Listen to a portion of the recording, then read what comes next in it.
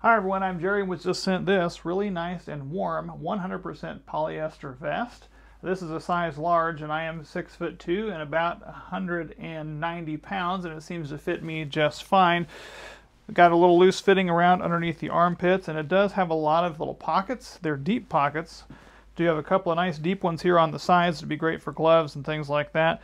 I do like the fact that it's got this little chest pocket, so if you need to put little credit cards or something up in there, quick access, you do have that right there. And then, of course, when you unzip this zipper, you also have a deep pocket over here on the inside of this that you can put things on the inside of the vest, just on that one side, which is kind of nice to have. It does have a nice collar. You could wear this with a dress shirt, or you could dress this down with just a t-shirt or something uh, outside if you're headed out and about.